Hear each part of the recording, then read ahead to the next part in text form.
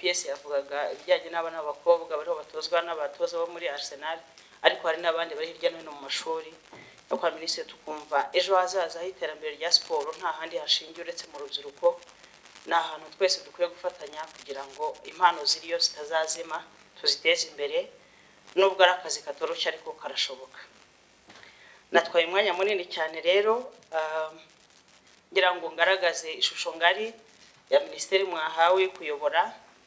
Hari intangiriro nziza hari ibyo mwaheraho ariko ntabwo bivuze ko ari urugendo umuntu agenda atagizemo ingorane icyiza ni uko n'ingorane iyo zivutse abantu baricara bakazisuzuma bakazibonera umuti. Mu gusoza rero ngo uyu munsi nyine ni uwo kugira ngo mbashyikirize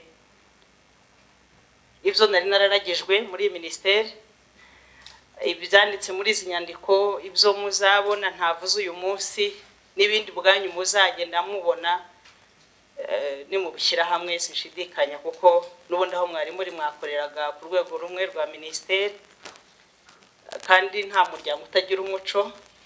Na rwa rubyiruko twahoze tuvuga rukora siporo ruri mu muryango nkumva nta kizabatonda kirimo.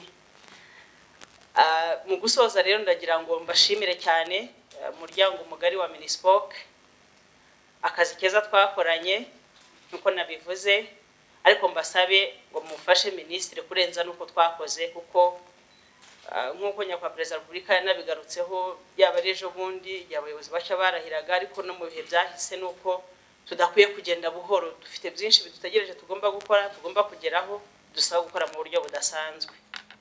Kandi ntabwo byashoboka hakoze bamwe ngo abandi ntibakore. Muri uru rugendo twakoranye aho bitatunganye reka nivugire ku ruhande rwanjye aho naba hari nahutaje muri mwe nta mutima mubi nabigiriye ko ari ukugira ngo akazi dushinzwe tugakore neza kandi tukagereho.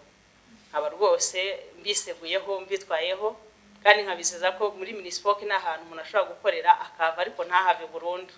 Kubera ko ibyo mukora duhura na byo mu midugudu duhura na byo hirya no hino ubwo ubundi nkibaza ko ngiye mu bafatanyabikorwa ba minisiteri.